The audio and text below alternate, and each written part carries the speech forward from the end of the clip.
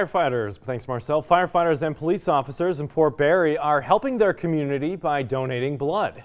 This blood drive was through the LifeShare Blood Centers. Organizers say they encourage everyone to come out and donate. One person can save up to three people's lives. Um, so just one, which is one pint, is just a little small amount of blood. Um, you fill up that bag, and knowing that that one bag can save three people's lives is what's really important.